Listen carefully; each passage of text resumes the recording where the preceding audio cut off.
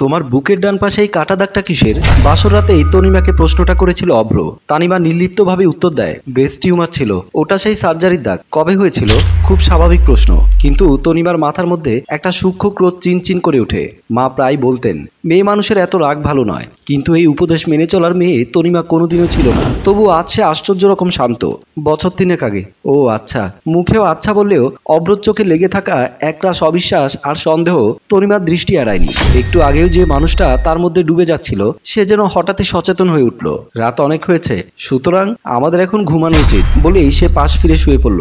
তনিমাও আর কথা বাড়ালো না। হঠাৎ করে তার সে রাগটা গভীর বেদনায় রূপ নিল। সে বেদনা দু চার ফোঁটাও ঝরে পড়ল গাল বেয়ে। আস্তে করে উঠে ওয়াশরুমে ঢুকলো। মুখে পানি মেরে ভাবলো অভ্র আমাকে বিশ্বাস করেনি। কিন্তু সত্যি এসএসসি পরীক্ষার আগে ওর ব্রেস্ট টিউমারের সার্জারি হয়েছিল। এই সার্জারির জন্য মেয়েটার টেস্ট পরীক্ষাটা পর্যন্ত দিতে পারেনি। যদিও সার্জারিটা খুব বড় কিছু ছিল না, তবু ভয় ওকে কাবু করে ফেলেছিল। পড়ালেখায় গতি ফিরল না। এসএসসি রেজাল্টও আশানুরূপ হয়নি। তাই ওই স্মৃতিটা তনিমার মনে রাখতে চায় না। তবু তার বাসর রাতের স্বপ্ন ভাঙতে এসে হাজির হয়ে গেল। পরিবারের পছন্দে শিক্ষিত আর সুশীল একটা ছেলেকেই তো বিয়ে করেছি। কিন্তু কেমন শিক্ষিত সে যে একটা সার্জারি দাগ চিনতে পারে না। অন্য কিছু ভেবে বসে আছে। বিয়ের দুদিন বাদে অভ্র কৌশলে তনিমার ফেসবুক আইডির পাসওয়ার্ড চাইলো। তনিমা, তোমার অ্যাপবির পাসওয়ার্ডটা বলো তো।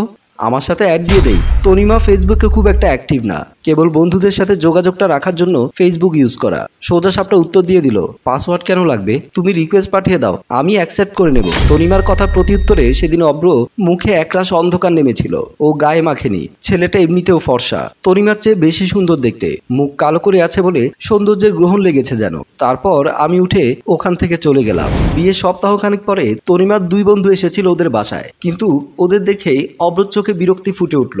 বিয়ের এই কয়দিনের মধ্যে তনিমাও চোখের ভাষা পড়তে শিখে গেছে। স্বামীর সাথে এটুকুই মাত্র হৃদ্যতা তার। বন্ধুদের সাথে বহুক্ষণ আড্ডা চলল। অভ্র সবার সাথে বসেছিল। কিন্তু আড্ডায় ওর উপস্থিতি বা আগ্রহ কোনোটাই ছিল না। যেন অনেকটাই বাধ্য হয়ে বসে আছে। বউকে পাহারা দিচ্ছে যেন। এক পর্যায়ে অব্র উঠে চলে গেল। রাতে খাওয়ার পর ওরা চলে গেল। অব্র যখন শুতে গেল, কথাটা বলেই ফেলল, তোমার ছেলে ফ্রেন্ডও আছে দেখছি।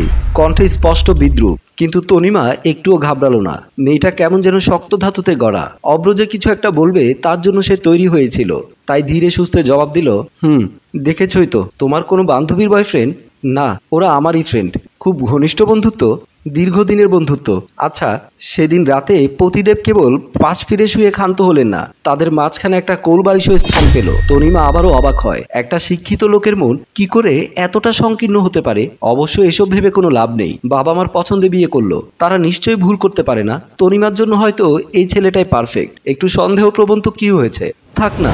সেদিন অব্র অফিসে চলে যাবার পর তরিমা কিচেনে ব্যস্ত ছিল। হঠাৎ কলিং বেলের শব্দে কিছুটা চমকে উঠে।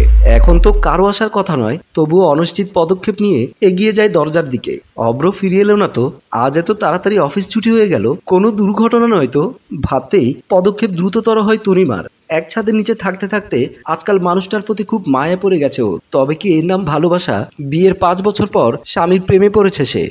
দ্রুত এসব এলোমেলো ভাবনা খেলে যায় তনিমার মাথায়। দুশ্চিন্তা আরও গাঢ় হয়। কিন্তু একরাশ উৎকণ্ঠা নিয়ে দরজা খোলার সাথে সাথে ভূত দেখার মতো চমকে উঠে মেয়েটা। সহসা কোনো কথা বের হয় না মুখ দিয়ে। একজোড়া বিস্ফোরিত চোখের সাথে সংঘর্ষ হয় আরেক জোড়া চোখের। নিরুত্তাপ আর শীতল সেই চোখ দুটি। একরাশ বিষণ্ণতা যেন ভর করে আছে সেই দৃষ্টিতে। স্বামীকে জড়িয়ে ধরে কান্না চোখে বলল, তুমি আমাকে মাফ করে দিও। আসলে আমার আর বেশি সময় নেই। আমার শরীরে ক্যান্সার বাসা বেঁধেছে। আমি খুব তাড়াতাড়ি তোমাদের ছেড়ে চলে যাব। এই কথা বলার পর আমার স্বামী বিয়ে হওয়ার পর থেকে মনে হয় এই প্রথম অন্তর থেকে আমাকে জড়িয়ে ধরলো। বলল, প্লিজ, কান্না করো না। আমি তোমাকে মরতে দেব না। চিকিৎসা করাবো। এক সপ্তাহ পর আমার স্ত্রী পৃথিবী ছেড়ে চলে গেল। লাশ মেডিকেল থেকে ডাক্তার আমাদেরকে বুঝিয়ে দিল। আমার খুব খারাপ লাগছিল।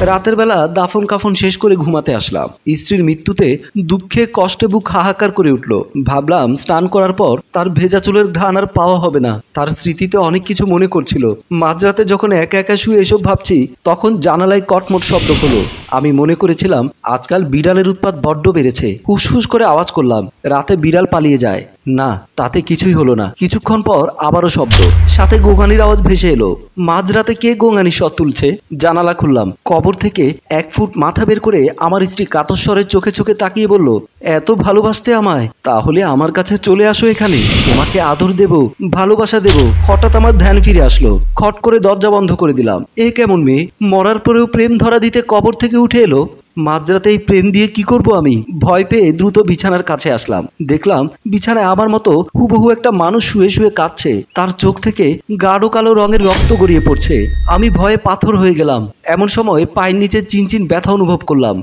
নিচে তাকিয়ে দেখলাম স্ত্রী আমার পায়ের গোড়ালিতে তার ধারালো দাঁত বসিয়ে দিয়েছে। আমার পা থেকে রক্ত পড়ছে। বিছানায় শুয়ে থাকা লোকটা আর আমার স্ত্রী দুজনে বিশ্রী ধরনের অঙ্গভঙ্গিমা করছে। সম্মানিত দর্শক, এখন আমি কি করব? আপনারাই বলুন, আসলে এটা কি আমার স্ত্রী নাকি ভূত পেতনি আমাকে ঘায়েল করেছে? আপনাদের জানা থাকলে কমেন্ট বক্সে লিখে জানান। এই গল্পটি ভালো লাগলে লাইক, কমেন্ট, শেয়ার করে অন্যকে দেখার সুযোগ করে দিন।